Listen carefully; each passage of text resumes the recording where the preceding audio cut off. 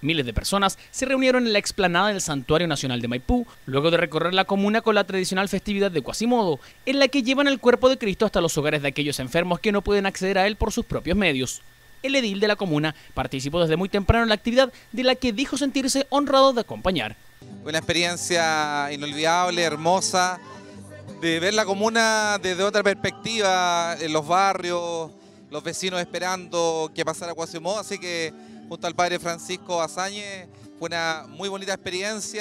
A su vez, y mientras se esperaba recibir a los cuasimodistas, se desarrolló a las afueras del templo una muestra folclórica que la delegación argentina del Colegio Nido de Águilas preparó para la ocasión.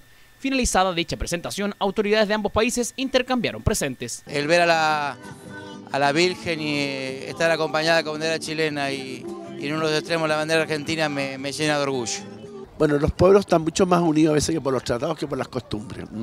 Ellos tienen, igual que nosotros, mucha una riqueza muy grande de costumbres humanas, de, religiosas y también artísticas y folclore. Entonces creo que ellos hayan vivido esta experiencia y nosotros, a ver, por lo menos los que estábamos aquí, haber vivido eso, fue una cosa muy bonita que, que, nos, que nos tira a todos para arriba, que nos realza, que nos alienta.